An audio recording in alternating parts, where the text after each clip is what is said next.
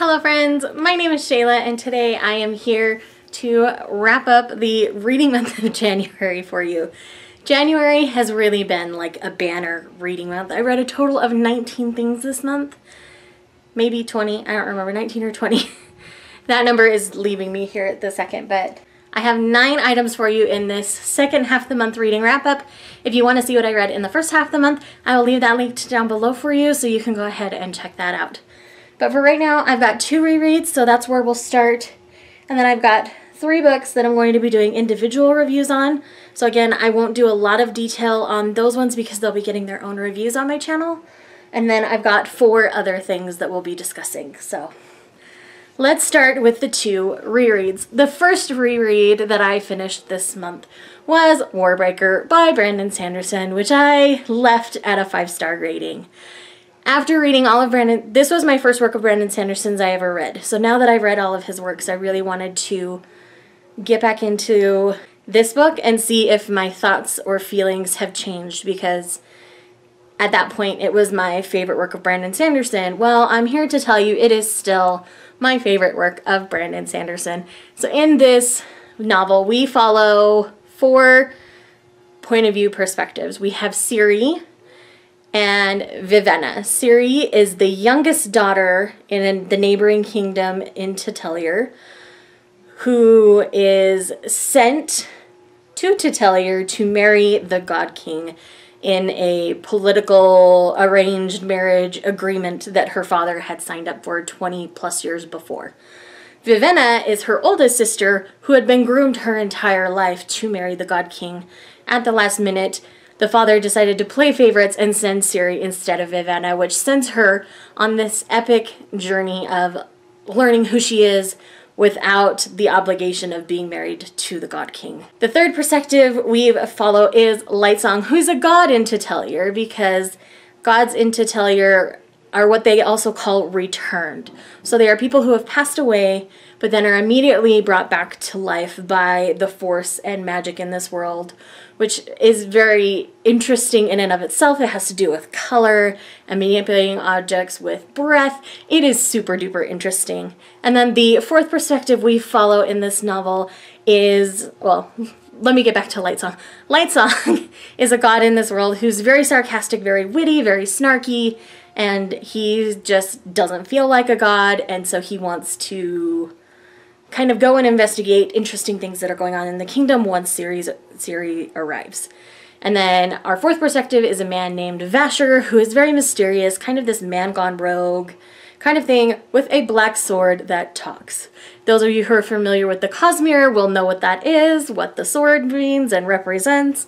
So this definitely has ties into Mistborn and the Stormlight Archives. So if you have read those but have not read Warbreaker, I highly suggest you come and check out this novel because the character Vasher actually shows up in the Cosmere world in Roshar as well, for those of you who are familiar with the Stormlight Archive world.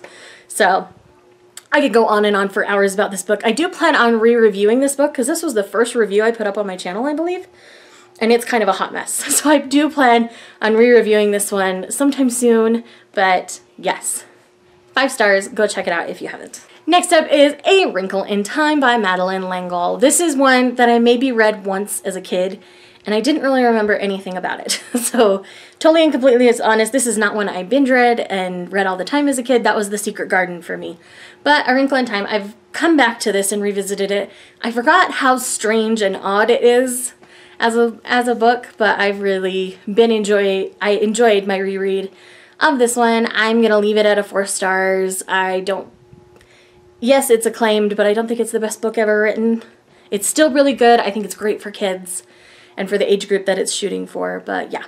Four out of five stars for me. All right, the next three are books that are going to be getting individual reviews on my channel here soon.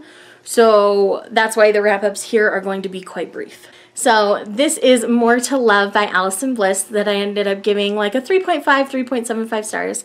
This is a romance book. Forever Romance was kind enough to send it to me for review, and I really enjoyed this. It's a very stereotypical romance novel. So in this, we follow Jessa and Max. Max is a fat kid gone fit And Jessa is a food truck owner who's just rolled into his town, rolled in across the street from the restaurant that he frequents every day, and he's made good friends with the owner. And the owner's getting kind of run out of business because of her food truck across the street. So, you know, this is an enemies to lovers kind of situation. It's really fun, steamy, smutty romance book. If you're into that kind of thing, I suggest picking this up because this is also a curvy girl romance novel. So this isn't some perfect little waif of a model that is finding love in this novel. So I like it for that, which is why it's got between 3.5 and 3.75 because I thought that aspect of it was dealt with very nicely. so check this out. If you haven't, again, this will be getting a full review on my channel here soon. Next up is Worst Case by Beck Anderson. This book I ended up giving 4.5 stars. This book was amazing. This has really great mental health rep in it. Um, our main character has anxiety, and her mom has anxiety and PTSD. So to watch how they kind of feed off each other throughout the novel was really interesting.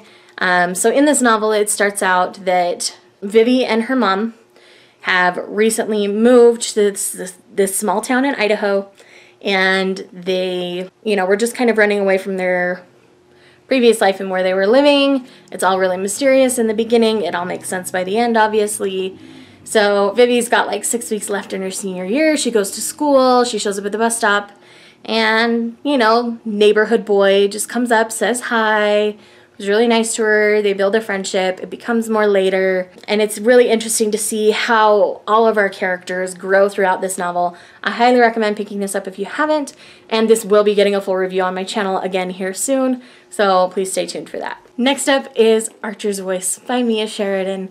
This book, again, I gave 4.5 stars. This is a romance novel, again sent to me by Forever Romance Books, so thank you Forever Romance for sending me these two novels for review. This one's coming out in February, so again, there will be a full review on this one coming up. So in this book, we follow a young woman named Bree who's kind of been running away from her life. Um, seven months before this novel takes place, her father is murdered in his deli, and she's there to witness it. And she's not dealing very well with life, so she kind of just gets in the car and starts driving, runs away, ends up in this small rural town in Maine, I want to say. It's in Maine. I double checked on the back of the book. On her first day there, she goes to the grocery store, bumps into a, a man named Archer who kind of looks homeless. He's his clothes are clean enough, but they don't really fit him. He's got long hair in his face. He's got a scratchy beard, you know, one of those long, scraggly Duck Dynasty looking things that's not well groomed. She says thank you because he's picking up things um, that she had spilled from her bag, you know, bags break and things fall and he doesn't say anything to her and she's not sure what to think about that. It comes out it comes out that Archer can't talk. He's been unable to talk since he was a child and was in a car accident where his parents and his uncle died. So that's all I'm going to tell you about this novel till I get into my actual review of it. But know that this book broke me on every level humanly possible and then put me back together in ways I didn't even expect it to. This book was a brilliant surprise. As you guys know, Mia Sheridan's book, Most of All You, was one of my favorite reads of last year, and this one was just as good, if not better. I would I think I would almost say it's better than Most of All You, and I really enjoyed it, so please go check this out. Again, coming out like February 6th, I want to say. My review will go up on the day it goes out. Okay, so I've got four more, well, five more books on this list because I forgot one's digital. so I've got five more books on this list. This wrap up is getting so long already, and I'm very sorry about that, but I promise it's a good wrap up. So the next two I will just sum up briefly, and that is volumes two, as I drop things, and three of Kitchen Princess. Kitchen Princess is a manga series that I started reading at the beginning of the month. You can go ahead and look at the review at the beginning of the month for more details on what this series is about. Um, our characters develop a lot in these two volumes. There's some sad things that happen in this third volume that broke me, but I'm okay. How this one ended, I'm very anxious to pick up the fourth omnibus here soon. And if you're interested in just a cute, fun contemporary manga, definitely pick up Kitchen Princess. Alrighty, next up, I've got The Magic Kingdom of Landover here. I've read volume two in the omnibuses, which is The Tangle Box and Witch's Brew.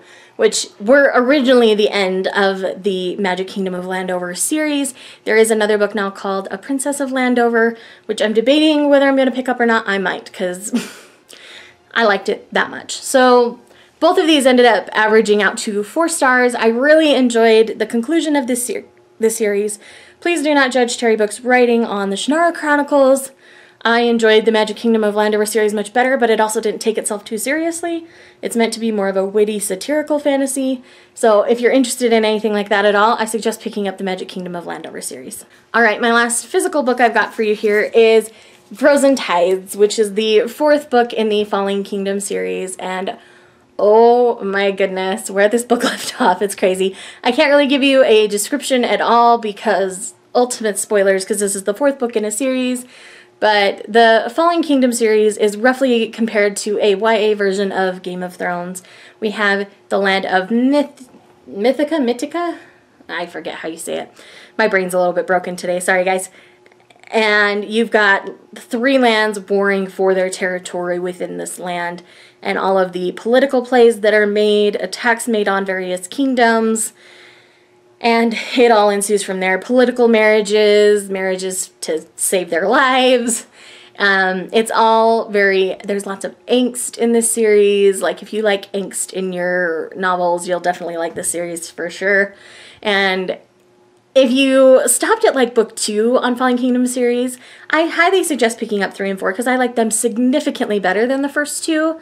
So give the series a chance if you were questionable about it in the beginning. Last but not least is Marker of Hope by Nely Cab. This is the third book in the Creatura series, and that's the conclusion of the trilogy. I know there's a fourth book now, but it's more of a origin story kind of situation.